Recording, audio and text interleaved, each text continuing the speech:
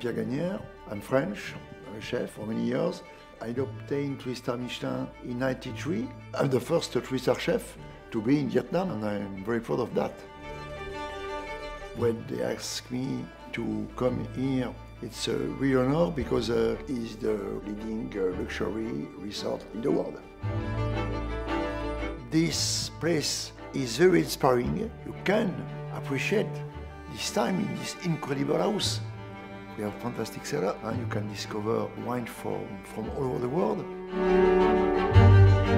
Our mission is to be a bridge between my work, my spirit, and the Vietnamese spirit, to discover another face of the Vietnamese cuisine.